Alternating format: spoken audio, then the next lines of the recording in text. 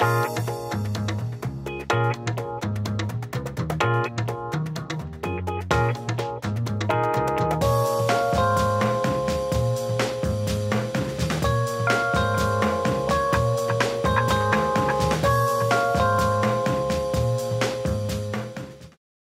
guys, I'm Jessica Mandeville with MyFashionPlate.com and we're in LA to speak with designer Jen Awad.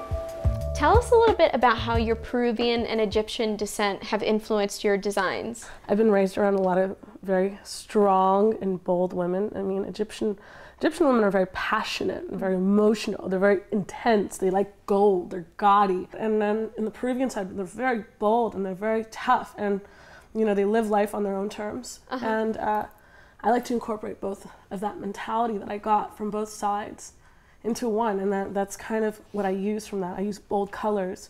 I use very intense silhouettes, very, very rough cuts, you know, but that but good finishes and I think it all really comes together. I just wanted to design a collect a group of pieces that I thought women could have in their closets for a really long time.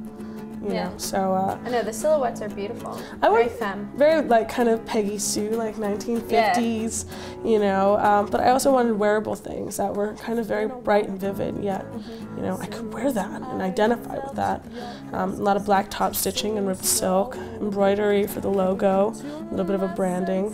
And now, definitely my music really inspires what I do. It goes hand in hand because when I'm on stage, I you know, it's it's almost your job to demand people's attention, not because you want the attention, but you want people to focus on your music, and you want them to say, "Hey, she's really good." So I kind of took that idealistic notion and I put it into my clothing, and so I think that's why they kind of just go hand in hand. So I kind of put my fantasies of what I would like to wear into my runway. I think that we're really pushing forward now. I think everyone's going through towards this direction where anything really goes. Mm-hmm. I'm kind of taking advantage of that in the sense that you know what you want to wear hot pants wear hot pants. Put some black tights underneath and you're good. Go out. You Yeah. know, have a good time. Or wear it to the beach. To my senses and now.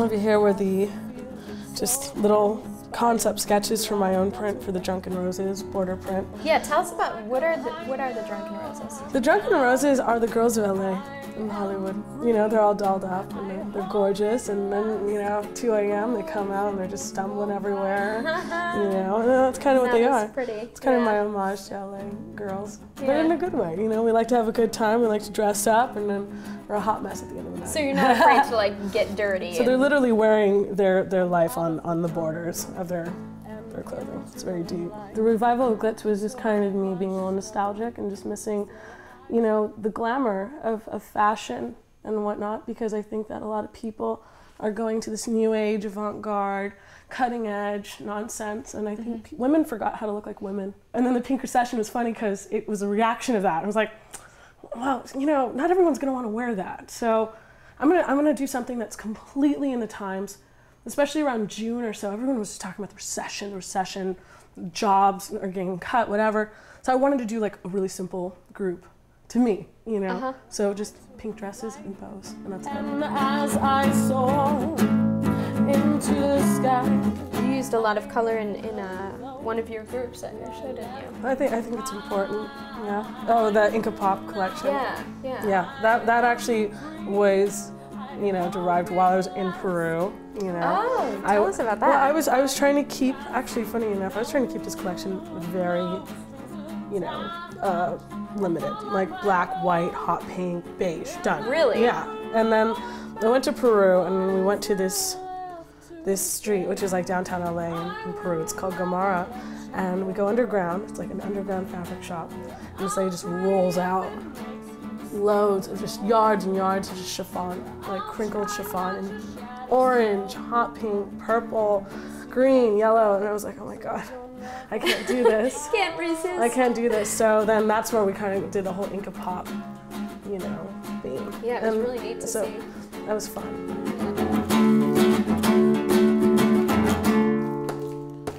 So, what are your plans for the future? It's, it's definitely nothing that I've been doing lately at all. You know, I'm definitely taking this to a completely different direction. I'm kind of starting to bite into the whole futuristic concept. Oh, Wow. Yeah. And it took me a really long time to dig into because I was kind of against it. I'm very much in the now or in the past. I love retro glamour and whatnot. So Yeah. I'm basically kind of marrying the two the futuristic notion, like post apocalyptic, meets like, you know, the effortless beauty of like the 1940s. What is left to say? I notice here that you have like a lot of um, really cool hats and really cool accessories.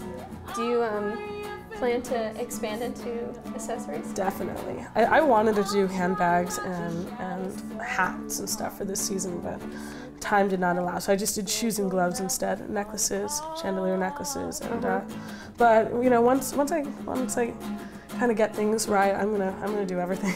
I think that the, the most important thing is that there is no right way or wrong way to do to get into this industry.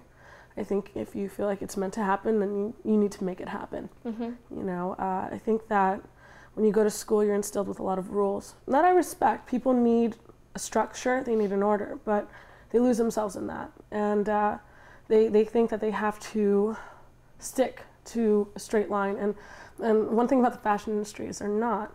But the good thing about the beginning of the industry is that people are willing to help you out a lot. People are very kind. People want to help. People will sponsor you. If they think you're good, they're going to help you out no matter what. So it, it really doesn't hurt to just try, even if it starts with a little show, you know, no press, no buyers. It doesn't matter about that. Just to get yourself in the right direction. I never thought I'd do LA Fashion Week, you know, so, you know, why not?